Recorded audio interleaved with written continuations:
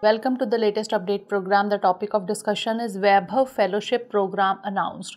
The government has launched a new fellowship program to connect the Indian STEMM diaspora with Indian academic and R&D institutions. The program aims to sharing of knowledge, wisdom and best practices in the frontier areas of science and technology. The Vaishvik Bharatiya Vaigyanik that is Vaibhav Fellowships program will be implemented by the Department of Science and Technology, Ministry of Science and Technology. The fellowships would be awarded to outstanding scientists or technologists of Indian origin who are engaged in research activities in their respective countries. The 75 selected fellows would be invited to work in 18 identified knowledge verticals including quantum technology, health, pharma, electronics, agriculture, energy, computer sciences, and material sciences, amongst others. The Vaibhav Fellow would identify an Indian institution for collaboration and may spend up to two months in a year for a maximum of three years.